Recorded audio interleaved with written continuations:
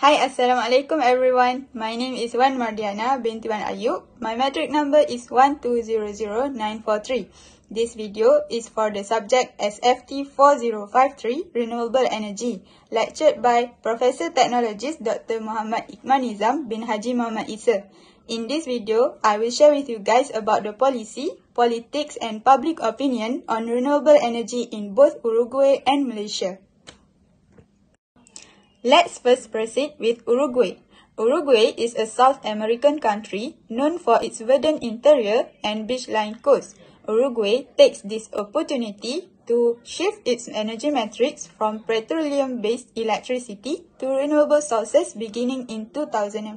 Currently, Uruguay generates more than 98% of all electricity from renewable sources, primarily wind and hydropower with 99.9% of homes connected to the electric grid. So, what really makes Uruguay one of the successful countries for renewable energy? Let's go deeper into the energy policy of Uruguay. This achievement is aligned with the country's plan for renewable energy. Uruguay has a comprehensive, long term plan with the overall objectives to diversify the energy matrix, reduce dependency on fossil fuels, improve energy efficiency, and increase the use of endogenous resources, mostly renewables. 1. Auctions have been the main instrument for the promotion of renewable electricity in Uruguay. The government will award renewable energy projects to the successful bidders, who can provide electricity at the lowest cost. Fiscal incentives The government provides income tax reductions for renewable electricity producers, renewable energy service providers, and manufacturers of renewable energy equipment.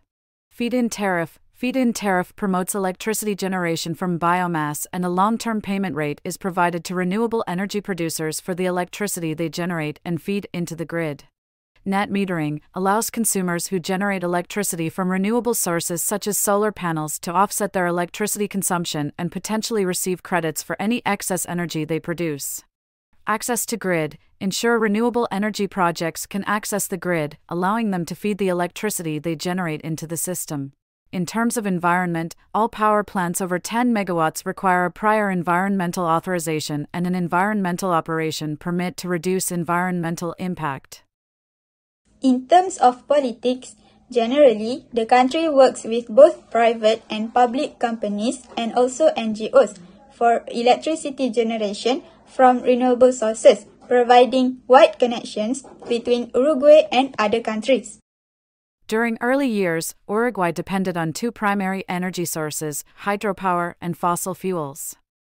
This lack of diversification made Uruguay vulnerable to climate induced stresses and oil price shocks.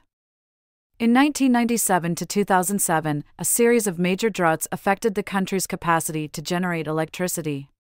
Therefore, government imposed severe restrictions on energy consumption and spent more than 2.8 billion US dollars a year on fossil fuels imports.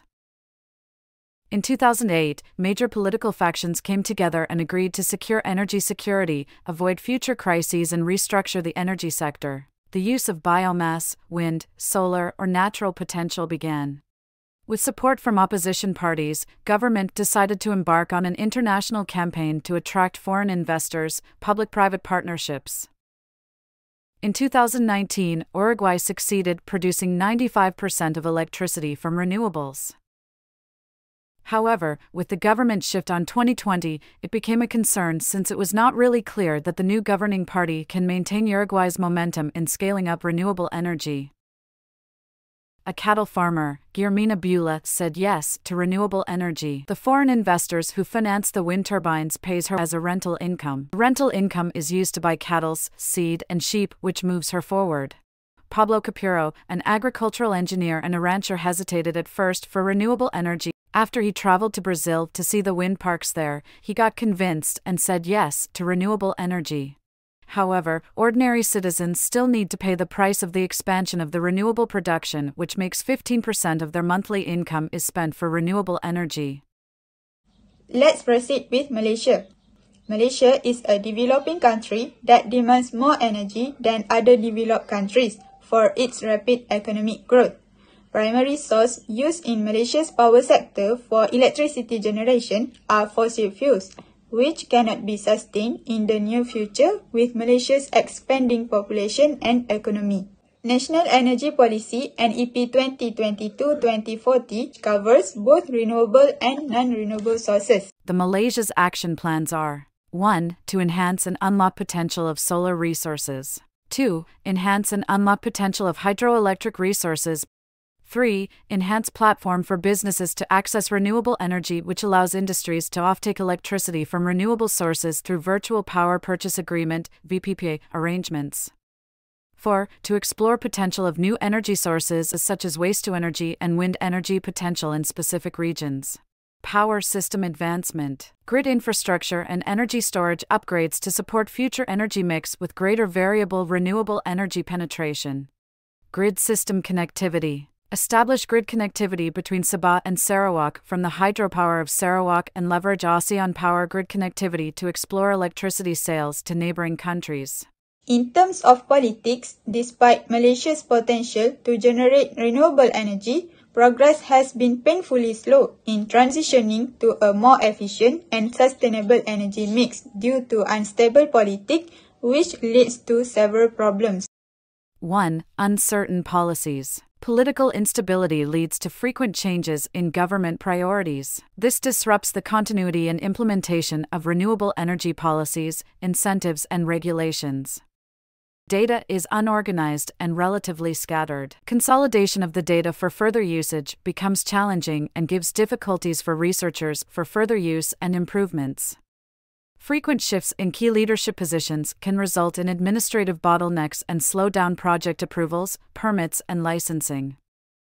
With no stable political environment, consistent policies, and a reliable regulatory framework, both local and foreign investors for renewable energy projects may don't want to commit to long term projects.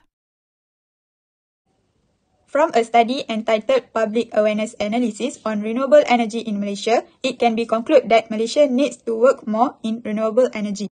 It shows that Malaysia's citizens in both rural and urban areas are adequately informed about renewable energy. Even though most respondents prefer using renewable energy, the price of the technology for renewable energy is high, reducing its affordability for use. Overall, majority of Malaysian are keen to support the government's efforts to emphasize the deployment of renewable energy.